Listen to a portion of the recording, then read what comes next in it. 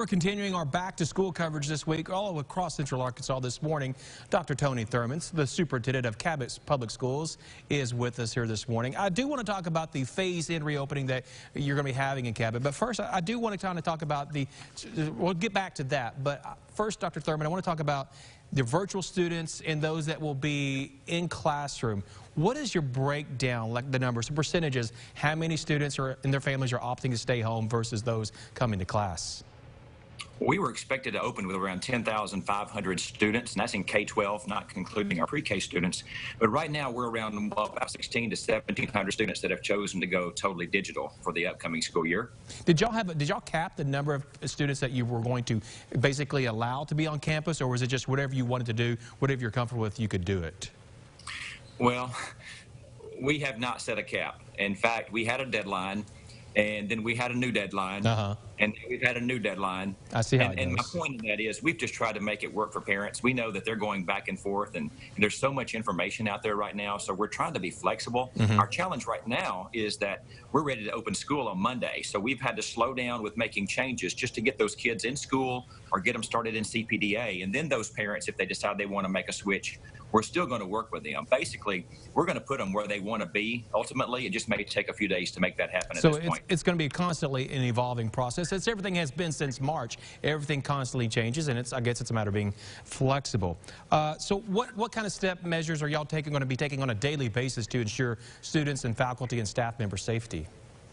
Well, first and foremost, it's going to be just pushing out the social media, the, the, social distancing aspect. And, and one of the things that we're sharing today with our parents is the fact that a lot of the social distancing, especially at our secondary schools, is going to be just personal responsibility, mm-hmm. just making sure that you're staying away from crowds. And kids are just like adults. We're naturally social. We want to be around right. each other, but they're going to have to take some personal responsibility for this because we can remind, we can, we can um, uh, push people and, and, and, and try to get them to understand the importance of this. But ultimately, we've got to have everybody working together on this. Of course, the face coverings are a big deal. We're going to do that K-12. We've made modifications to all of our schedules. We've made mm-hmm. modifications to our classroom configurations. So just what you're hearing in other school districts is happening in Cabot as well.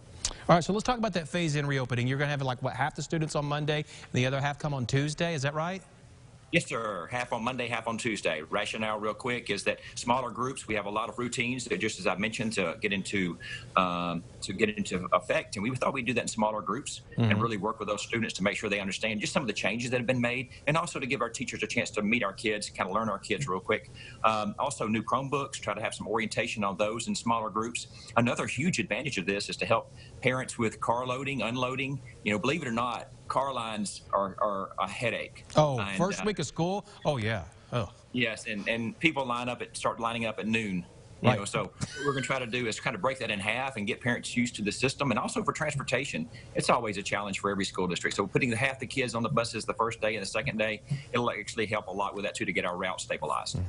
All right, so y'all did have an open house last night in the school district. How did that go? Actually, much better than I thought.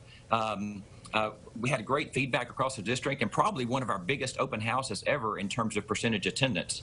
I think a lot of parents just wanted to come see exactly what school was going to look like. Mm-hmm. So the attendance was good, attitudes were good, it was very positive, and uh, I think that was really getting us over the hump. We just needed to finally have kids and, and parents back in our buildings because so, they've not been there since March. Right. So that was exciting for everyone. Maybe a little sense of normalcy, something that all of us probably want to see a whole lot more of. Dr. Thurman, thanks, thank you for taking the time for us this morning. Good luck next week.